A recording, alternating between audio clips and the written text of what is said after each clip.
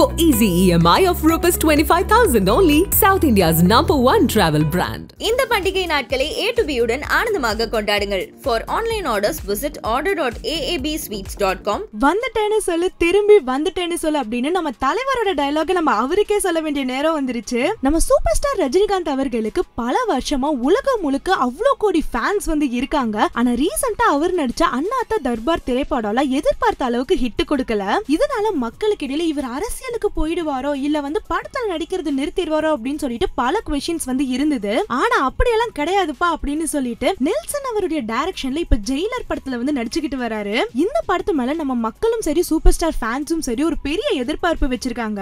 ஆனா ஜெயிலர் மட்டும் கிடையாது இன்னும் நிறைய படத்துல நம்ம சூப்பர் ஸ்டார் ரஜினிகாந்தோட ஸ்டைல திரும்பி பாப்பீங்க அப்படின்னு சொல்ற அளவுக்கு ஒரு லேட்டஸ்ட் அப்டேட் வந்திருக்கு. அதாவது லைக்காவோட ப்ரொடக்ஷன்ஸ்ல நம்ம ரஜினிகாந்த் அவர்கள் வந்து ரெண்டு படத்துக்கு வந்து சைன் பண்ணிருக்காராம் ஜெயிலர் படத்துக்கு அப்புறம் டான் பட டைரக்டரான சிபி சக்கரவர்த்தி அவருடைய டைரக்ஷன்ல வந்து நம்ம ரஜினிகாந்த் அவர்கள் ஒரு படம் பண்ண இருக்காரு.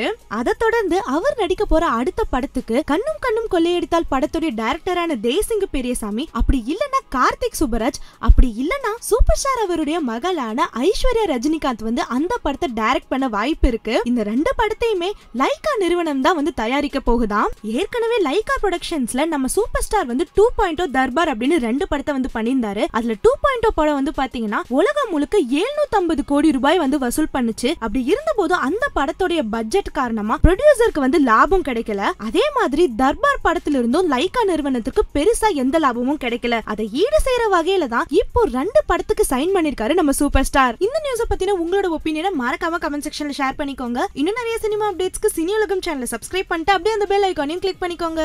மூணு பேர் சேர்ந்து எந்த படமும் ஆவரேஜாக போனதில்லை. எல்லாமே பெரிய ஹிட் அடிச்சிருக்குது எல்லாத்துக்கும் சிகரம் வச்ச மாதிரி இந்த படம். செல்வராகவன் சார் அவர் கூட இந்த படம் இந்த ப்ராஜெக்ட் பண்ண அனுபவம் பற்றி சொல்லுங்கள் சார். எப்படி ஹேண்டில் பண்ணியிருக்கிறாங்க எந்த மாதிரி அதாவது அவரை பற்றி என்கிட்ட வந்து ரொம்ப Thanu sir is equal to promotion அப்படின்னு சொல்லிட்டு தான் சினிமா ஹிஸ்ட்ரியில் நாங்கள் வந்து பார்த்து தெரிஞ்சுக்கிட்டது. இந்த படத்துக்கு ஏன் சார் ஒரு பெரிய ஈவெண்ட்டோ இல்லை ஒரு பெரிய லெவலில் ஒரு ப்ரொமோஷன் நீங்கள் அதுக்கு வந்துமா இப்போது